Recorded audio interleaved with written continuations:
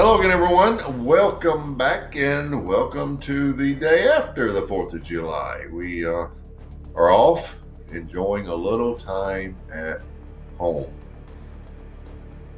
Now, today we're going to look at the counterpart or one of them to the uh, Inmenso uh, cigars. We had the Maduro a few days ago. Today is the Sun Grown, same size, 6 by 70. Huge, huge. Right down the band says Sun Grown. There's your density.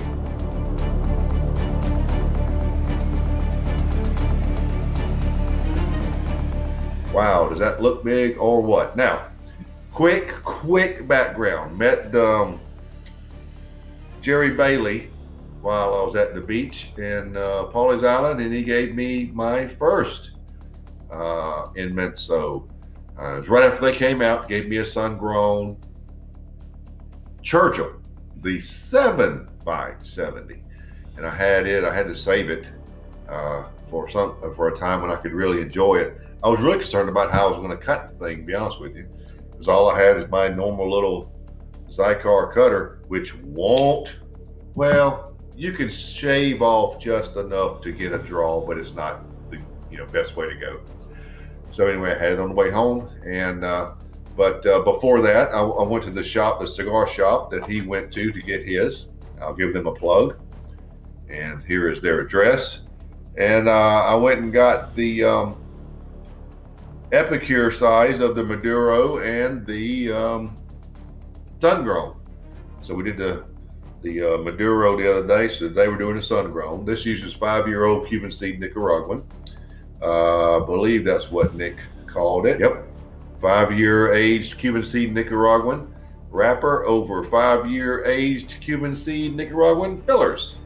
That's what the um, sun grown version uh, is about. This cigar, as it comes in three sizes, a Robusto, a short little five by 70. And this Epicure we have today, you know, this Churchill with seven by 70. The price point is really good. I mean, you can get this cigar here for seven dollars, seven and a quarter, maybe. Um, depending on your state taxes, it may be up or down, but uh, it's around seven bucks normally. So let's get right to it. The new, because it did just come out a month and a half ago, Perdomo Inmenso Sungrown Epicure. Now, I didn't really misspeak, but uh, wasn't quite accurate. These re emerged or re came out about a month and a half ago. They first came out in the early 2000s when something this big was unheard of. Um, they sort of drifted away, but they're back now because the world likes a 70 ring cigar all of a sudden, and here we are.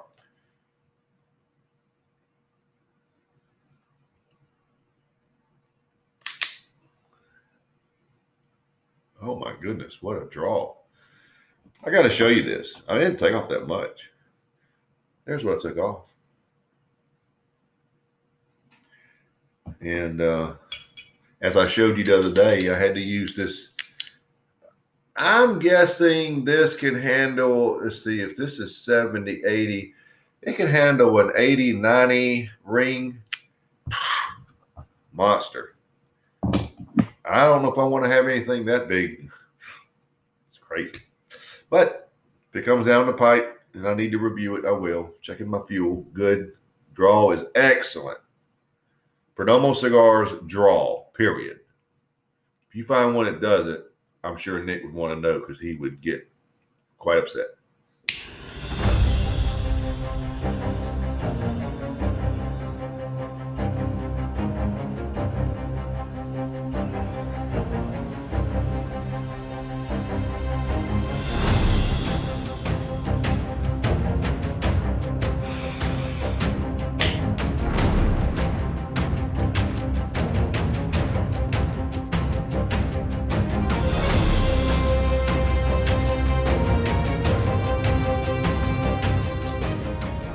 Nice. Citrusy cedar. Nice brown sugar. light leather, nutmeg, and a light black coffee base. That is how you start. Black pepper at about seven. Very nice light up flavors. Very typical Perdomo esque sun grown flavors. If you're familiar with Perdomo sun grown, uh, very much reminds me of, of other cigars that they've made with the sun grown wrapper. Very nice and sweet with that little leather influence that it has. So, very nice start. Let's see how we progress through the first third.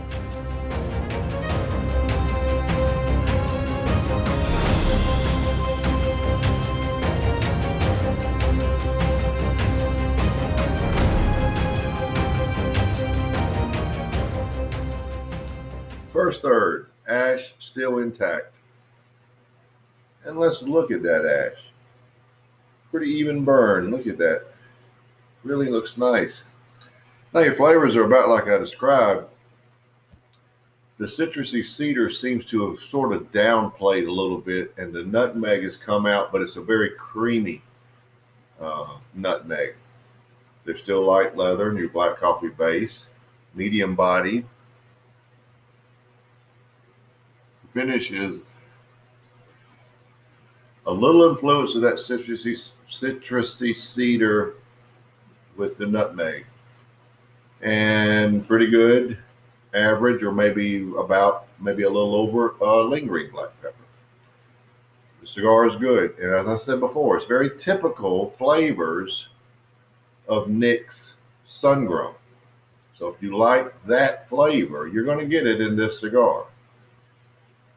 The first third, I'll rate 93. Extremely good cigar. Now, um, I hope Jerry Bailey, the gentleman I met on the beach, I hope he's watching this. Jerry is from Ohio, so if you know, if you live in Ohio, everybody knows everybody from Ohio, right? Tell Jerry I said hello.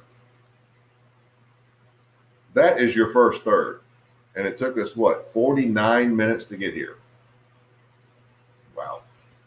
So let's see what we have in the second third.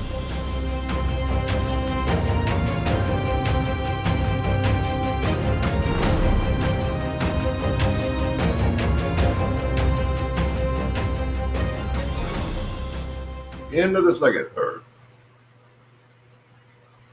And the nutmeg and leather are coming out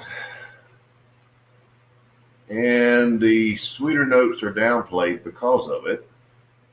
Of course, you have your black coffee base, medium bodied, now leaning a little toward medium full. Finish is nutmeg and leather, primarily, with nicely green black pepper. It's changed a little bit. I mean, the uh, the sweeter notes of the citrus cedar are really decreased. And the brown sugar, of course, is all suffering because of the increased nutmeg and leather. This second third, I would change the score to 91. It's sort of moving away from the way it started. So it's not the direction I would like it to go, but that's what's happening. So, uh,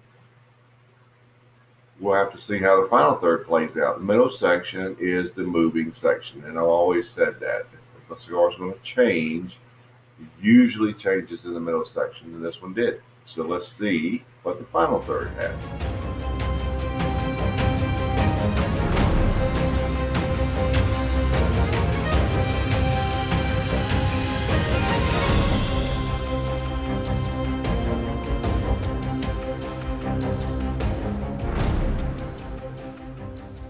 Well, we're down to the end, so let's wrap it up. Did have a little burn issue here at the end. I touched it up on the back side. It's it's uh, at the point where starting to fall apart a little bit, but it's been a nice cigar. But here in the here in the final third, it kind of stayed on the same trajectory. The nutmeg kept increasing, and the leather was there. It wasn't quite as elevated, but it's you got nutmeg, leather, and then the sweeter notes, which are struggling to come through at this point in black coffee base. Medium to full. Finishes leather, nutmeg, and a little sweetness, but not a lot, and uh, much improved lingering black pepper. The cigar's been good. Prefer the Maduro a little more than this one. I'm going to lower the score to 89 for the final third.